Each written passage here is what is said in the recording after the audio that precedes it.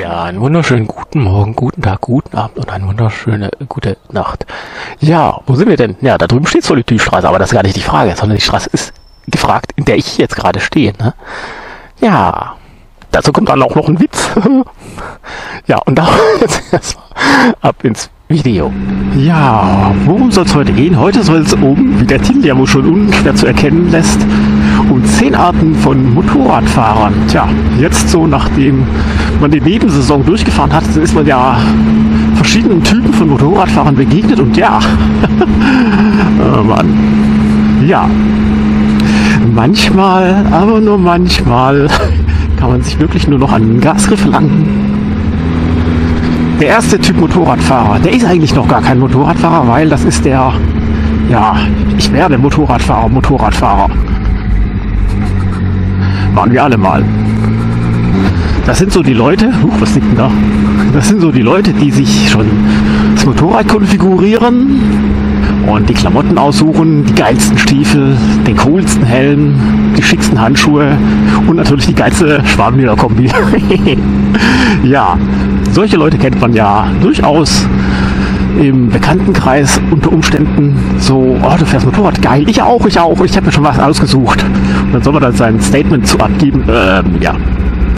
Das sind dann so die Leute, die, ja, wenn ich eine GS habe, wenn ich eine GS habe, dann kann ich durch Afrika fahren, bis ans äh, Kap der Guten Hoffnung, ist was da?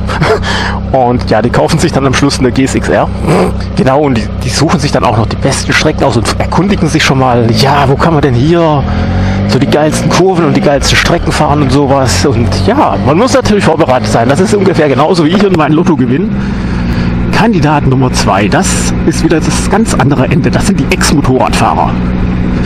Ich kenne zwei Ex-Motorradfahrer, die wohnen bei mir in der Straße. Und ich sag dir,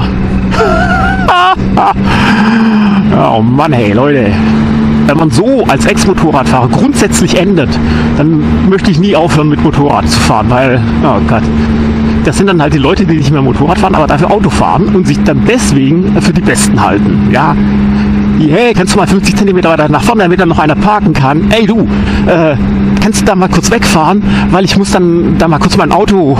Hä, what? Und äh, kannst du vielleicht noch ein bisschen näher an Bordstein ranfahren oder kannst du ein bisschen weiter weg vom Bordstein parken, dass man Kehrwoche machen kann?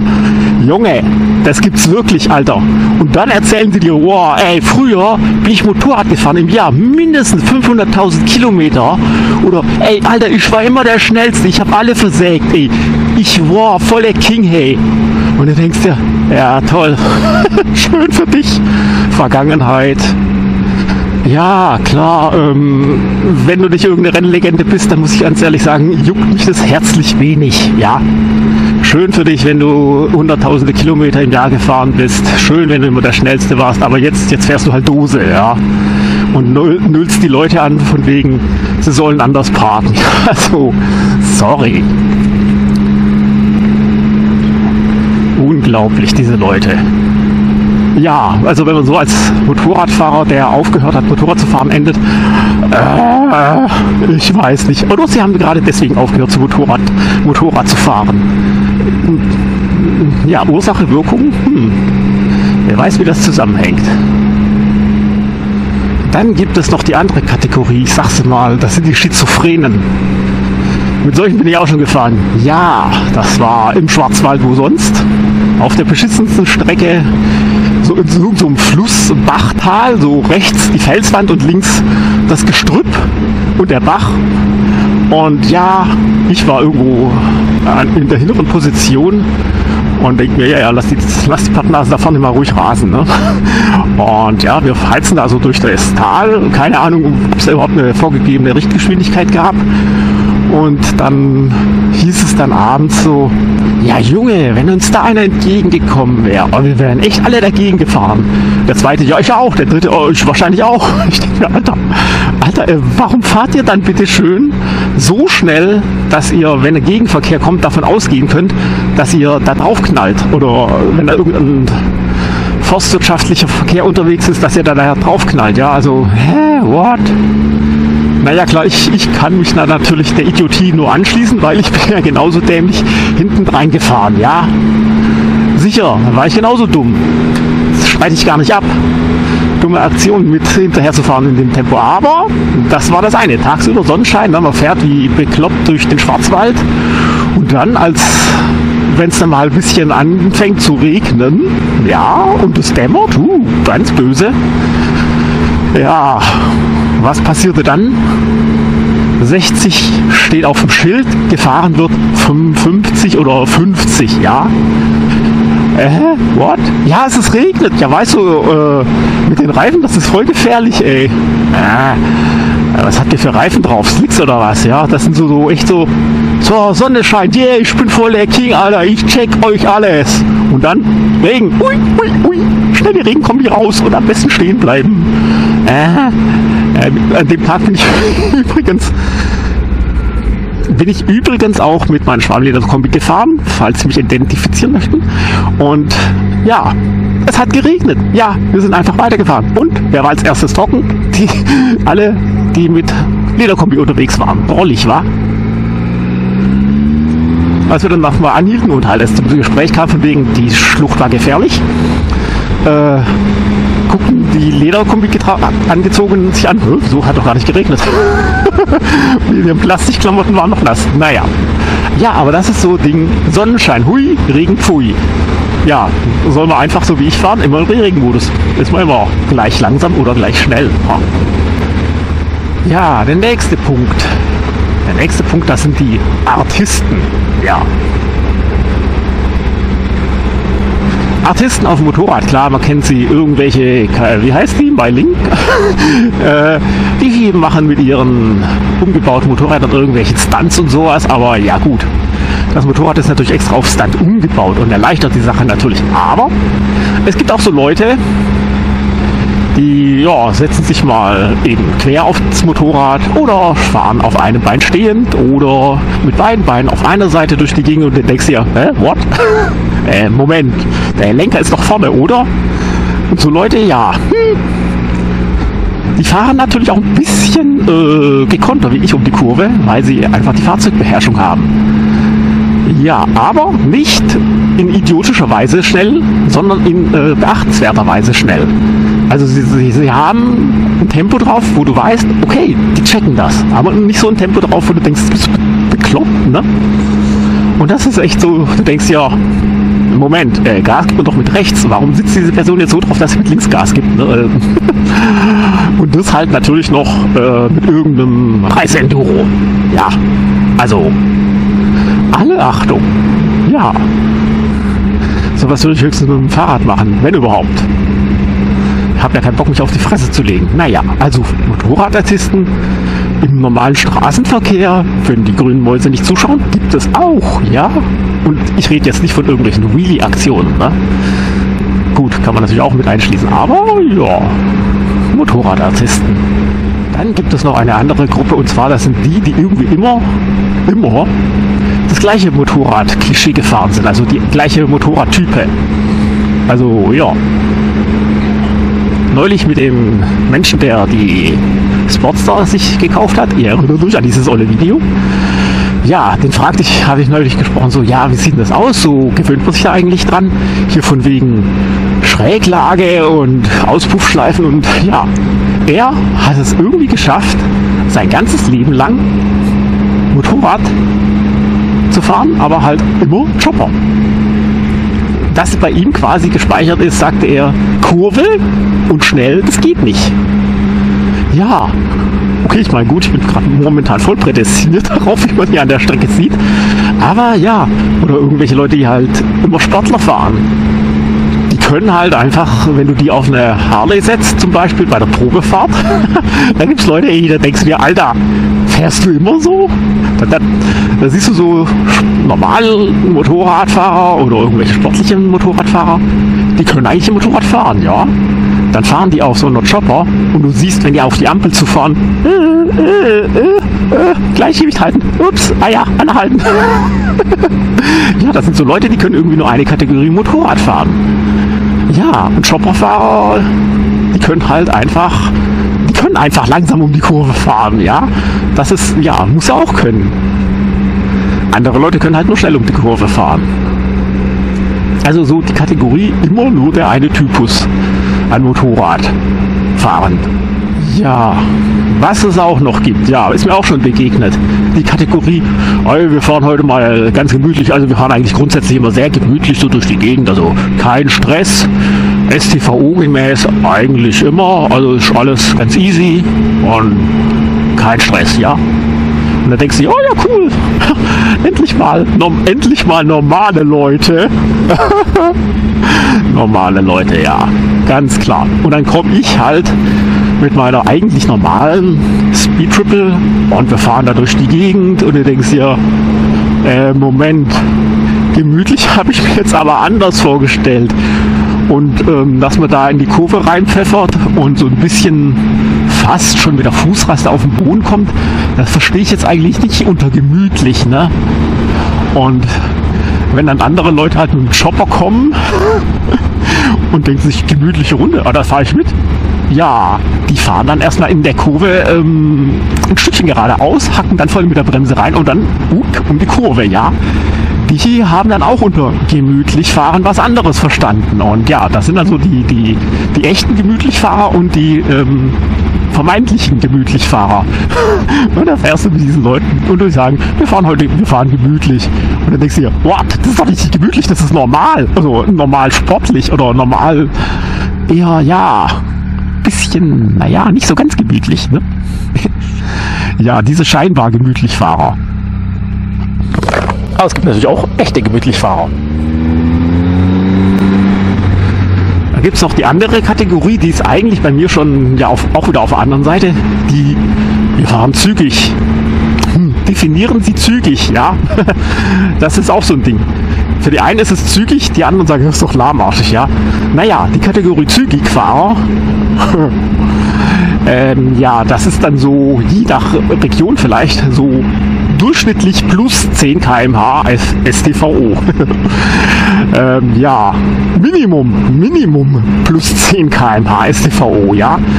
Und da wird dann da durch die Gegend gefahren und durchgezogene Mittellinie. Was? Das ist doch bloß Farbe. Oder ja, Gegenverkehr. Ach, mir reicht Lenkerbreite. Und ja, äh, was? Kreisverkehr? Ja, ja, klar, da kann man voll geil Elbow Drag üben.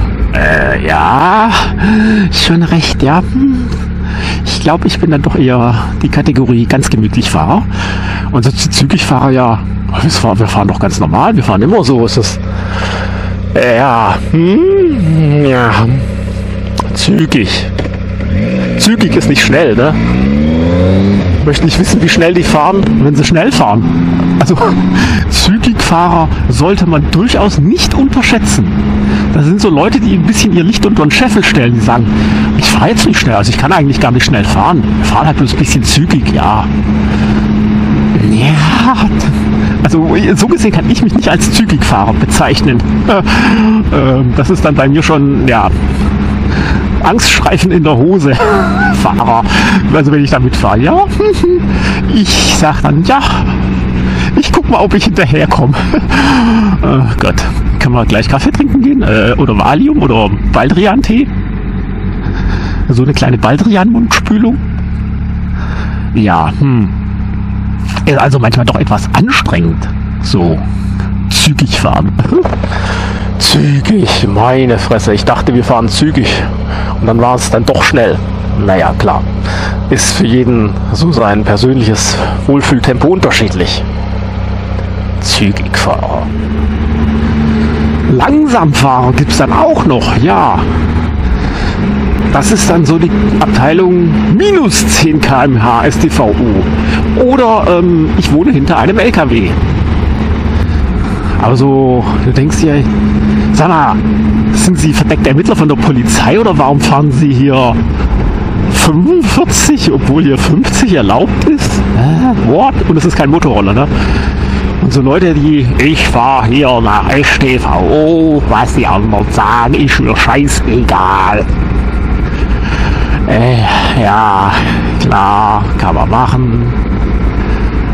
Ja, sollte man machen, vorschriftsgemäß fahren. Aber ja, lass dir ein ganz dummes Beispiel einfallen, wo alle behaupten, sie halten sich an die Regeln und dann tun sie es doch nicht. Ja, wie zum Beispiel bei der Abgasregelung. Ja, uns? Nö, wir machen alles regelkonform. Oder Formel 1, wir machen alles regelkonform. Was nicht drinsteht in den Regeln, war nicht verboten. Ja. Also, ja, man kann es halt auch übertreiben mit regelkonform fahren, ja. Aber oft sind halt auch so diese regelkonformen Fahrer dann so die Leute, die halt, ja, einen scheiß lauten Auspuff haben, um zu beweisen, dass ich könnte, ich könnte euch alle fertig machen, aber ich bin so cool, ich mach's nicht. naja. Ähm, aber manchmal denken sich halt, fahr doch einfach, fahr doch, kusch, fahr doch.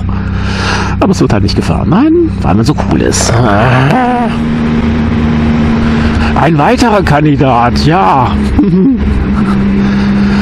Das sind die Leute, die irgendwie kein Glück haben auf dem Motorrad. Ob mit dem Motorrad an sich oder mit der Fahrerei. Das sind so die Pechvögel. Da fragt man sich dann auch manchmal, hm, was macht der Mensch? Womit hat er das verdient? Warum? Warum? Der macht nichts, der tut nichts, der beißt nichts, der, der pisst dir nicht an die Kette.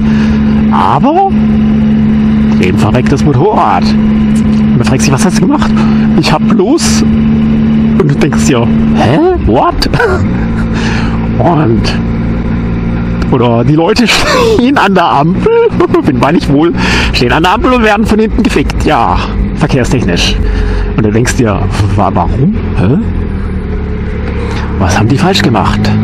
Was haben sie in ihrem früheren Leben verbrochen?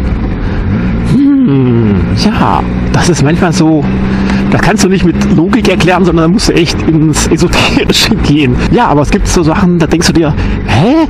Wie kann das passieren? Und warum bei dem schon wieder? Ja. Du weißt, dass ich dich meine nicht jeden einen Motorradfahrer, den es irgendwie immer trifft. Ja, was es dann auch noch gibt, das ist die Kategorie, wo man einfach sagen kann, Idioten. Ja, Idioten.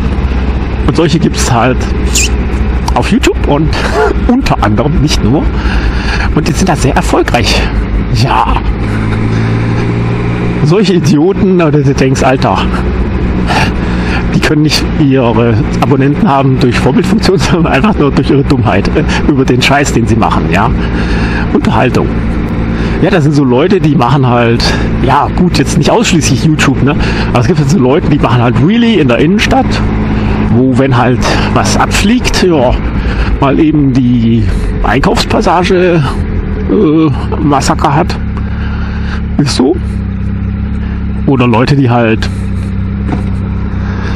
Burnout machen, so in der Innenstadt auf dem Zebrastreifen, wo du denkst, ja, was soll die Scheiße, äh? Oder wenn sie dann meinen, sie müssten extra im Leerlauf bang, bang, bang, bang, bang, bang an der Ampel machen, dann denkst du, Alter, hä, du bist so ein Arschloch. Weißt du, was du gerade machst? Du pflegst gerade voll das Image der Arschloch-Motorradfahrer. Ja, und dann wundern sie sich, ja, oh, Streckensperrung, ey, voll böse, ey, Alter. Wir machen doch gar nichts, wir wollen nur ein bisschen Spaß haben. Ja, schön. Ja, das Kind, das bei dir im Haus wohnt, möchte auch Spaß haben, wenn es abends um 10 Uhr wie bekloppt durch die Bude rennt und dich vom Schlafen abhält, ja, weil du morgen früh um 4 Uhr zur Schicht musst, ja. Das Kind will doch auch nur seinen Spaß haben. Da darfst du doch nicht böse sein. Du warst doch auch mein Kind, ja. Äh. Dann denkst du da manchmal, Alter, solche Leute wundern sich dann, wenn man ihnen mal sagt, dass sie ein dummes Arschloch sind oder ihr, ihr Nachbar es ihnen sagt, dass sie ihre Kackmöhre mal mit einem TÜV-gerechten Auspuff versehen sollen oder dass sie halt mal nicht ihren scheiß Wheelie in der Fußgänger oder nein, nicht in der Fußgängerzone, in der Spielstraße ihren Fuß-Wheelie nicht ziehen sollen. Ja, hm, toll. Echt so die Abteilung Idioten. Die gibt's auch ohne Kamera, ja? Und dann musst du an die Beatles denken. Let it be, let it be. Lass einfach sein, du dumme Sau. Ja, das waren, wenn ich mich jetzt nicht verzählt habe, äh, die zehn Arten von Motorradfahrern. Klar, man könnte jetzt natürlich auch noch irgendwie die elfte Kategorie einfügen, äh, die nur auf der Rennstrecke fahren, Motorradfahrer. Oder die zwölfte Kategorie, die nur im Sommer fahren. Oder die 13. Kategorie das ganze Jahr über fahre oder irgendwie die Langstreckenfahrer und so. Äh, pf, keine Ahnung. Vielleicht im nächsten Video. Aber ja, es ist ja schon irgendwie so, dass ich äh, aus jedem irgendwie dann schon gewisserweise ein Motorradfahrer rausbildet, ja. Ja, und damit erstmal ab in die Auflösung von Intro-Quiz. Ah ja, Poppeiter ist das eine Scheißstraße. Ja, ja, wo waren wir am Anfang des Videos? Am Anfang des Videos waren wir bei der Solitustraße und die geht hier über in die Kräuterstraße. Hm, was ist daran jetzt witzig? Witzig ist daran, dass mir jetzt ein Witz einfällt. Und zwar der, was wäre, das wäre lustiges gewesen, wenn Adolf Hitler nicht Hitler gehießen hätte, sondern Kräuter oder Kräuter. Dann hätten sie alle geschrien, Heilkräuter. äh, geistiger Fußpilz. Aber ich find's irgendwie lustig. Heilkräuter. Äh, what? Und wenn man dann heute ins äh, Reformhaus geht, ja, haben sie ein paar, oh, ganz böses Wort, Heilkräuter. äh, ja, ich weiß. Karlau, ein kalter, äh, ein Schuss in den Ofen.